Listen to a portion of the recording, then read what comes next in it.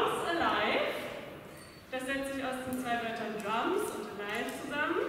Drums bedeutet dabei, ihr habt beide zwei Stöcke bekommen, zwei Stäbe.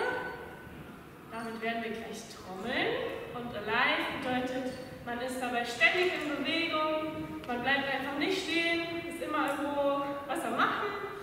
Ja, und das ist eine Sportart, die ja, hat mir zumindest immer sehr viel Freude bereitet und deswegen wollen wir die heute mit euch machen.